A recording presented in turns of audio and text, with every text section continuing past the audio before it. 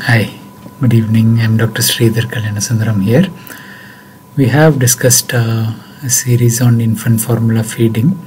One important topic that we didn't address was how to choose the right teat or nipple size for the baby's feeding. So it's very important to get the teat size correct. And uh, if as vigorous baby is fed using a small teat, the nipple will collapse and the strong suction generated by the baby's effort will make it uh, suck in. It worsens even more when the baby is frustrated because the milk is not flowing and the baby starts uh, sucking even more vigorously, causing the teat to literally close so no milk will flow to the baby. So it's very important to recognize and change to the next size in a timely fashion. So the nipple sizes range from 0 or preterm and there are size 1 2 3 4 size 1 being the standard term teat different companies brand their sizes differently so you may have to verify the smallest range for that company. Uh, the difference is not only in the size of the nipple but also in the softness or compressibility and the size of the hole. The size of the hole is a main difference for the teat sizes we should avoid arbitrarily enlarging the hole with a needle as the excess flow is not really controlled and if there is a sudden increase the baby can choke while feeding.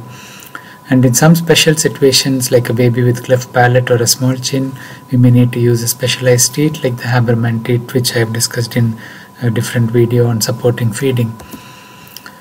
When should we consider moving to a larger teat? So this is depending on how well the baby is coping with the current size. Some babies are perfectly happy dealing with the size 1 teat even when they are more than 6 months old and some of them don't transition to the next size at all because they have adapted to the feeding. But there are some signs which suggest that the baby will need to uh, move on to the bigger size teat and uh, the typical signs that indicate that you need to move to a bigger size is that the baby takes longer to finish feeding, the baby becomes frustrated or fussy while feeding, the baby may not finish the feed fully and they may fall asleep because the effort of feeding is more. And this increased effort of feeding may actually start reflecting in the weight gain. And the baby may not gain weight as well as there is more work of feeding and there are some situations when you may need to consider stepping down in the teat size as well. So this happens mainly in the premature babies where the flow rate need to be slowed down due to incoordinate sucking and swallowing. And this may be indicated by gulping or hard swallowing when there is coughing choking or the milk is dripping all the time from the mouth or the baby starts refusing the feed. Sometimes this experience of near choking is scary for the baby and they start uh, refusing the bottle in these cases.